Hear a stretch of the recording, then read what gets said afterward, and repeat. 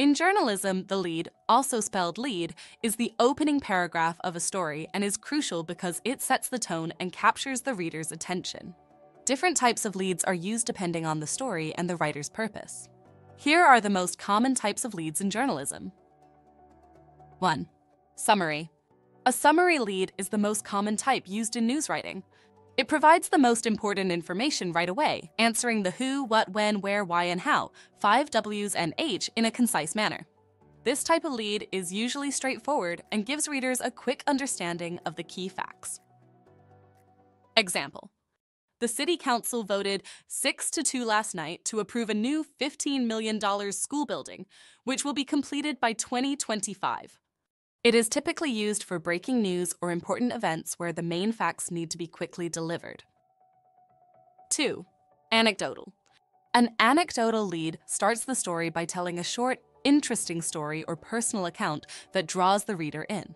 It focuses on a specific person, moment, or incident that illustrates the broader theme of the article. Example when Sarah Martinez opened her bakery doors for the first time, she didn't expect a line stretching around the block. But as soon as word got out, people from all over the city came to taste her grandmother's famous cinnamon rolls. This lead works well in feature stories and human interest pieces where the writer wants to create an emotional connection or intrigue the reader. 3. Descriptive. A descriptive lead paints a vivid picture of a scene, person, or event. It sets the tone by immersing the reader in a detailed, sensory rich setting, making them feel like they are part of the story. Example The sun beat down relentlessly on the dusty main street as tumbleweeds drifted by, and the only sound was the creaking of the old saloon door in the wind. This type of lead is common in feature stories or travel writing, where the goal is to engage the reader through imagery and description. 4.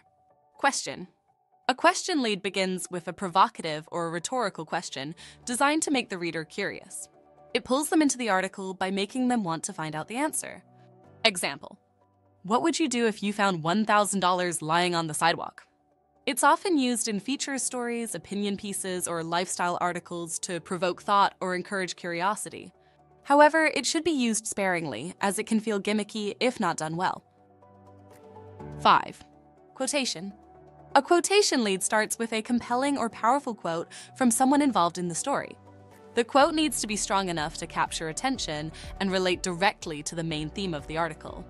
Example We're not giving up without a fight, said Jane Doe as she stood before a crowd of supporters at City Hall, vowing to continue her environmental advocacy.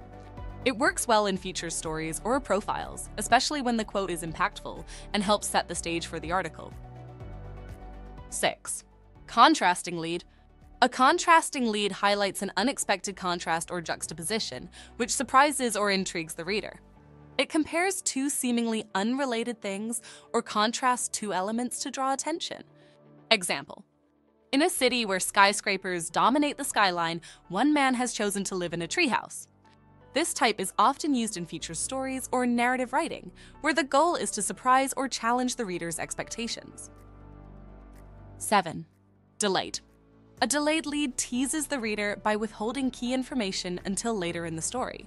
It builds suspense or curiosity, drawing the reader in with an unfolding narrative before getting to the main point.